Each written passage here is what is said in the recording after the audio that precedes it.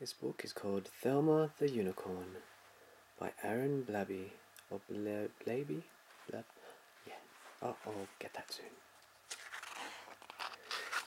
Thelma the Unicorn. Oh, yummy. At those carrots. Thelma felt a little sad. In fact, she felt forlorn. You see, she wished with all her heart to be a unicorn. Hmm. Her best friend's name was Otis. He liked her quite a lot. He said, You're perfect as you are. But Thelma said, Oh, I'm not. She imagines herself like that. And that was when she saw it, a carrot on the ground. It gave her such a great idea. She squealed and jumped around. Woo! She took that simple carrot and she tied it to her nose. I'll say that I'm a unicorn. It might just work. Who knows? Hmm, there's Otis.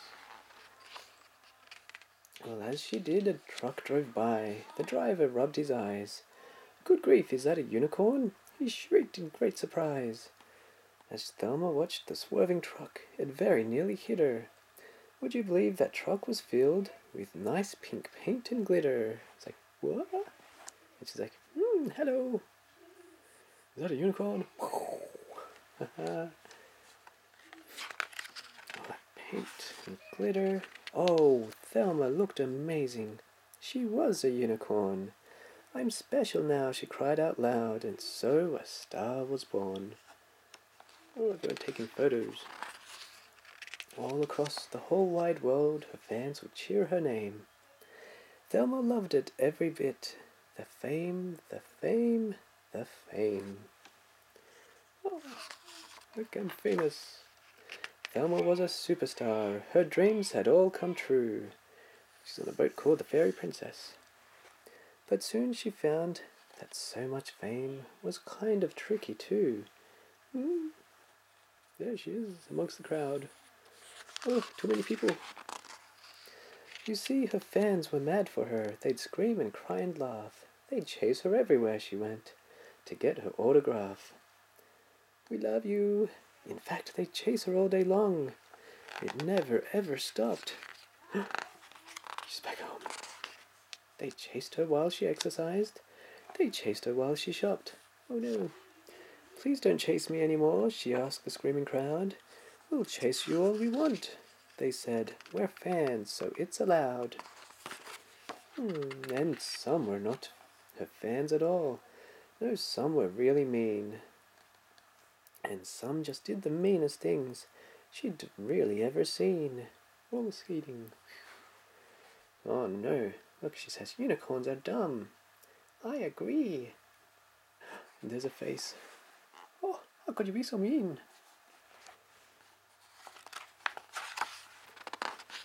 So one dark night she felt quite sad. This famous little pony, she said, I thought that I'd feel great.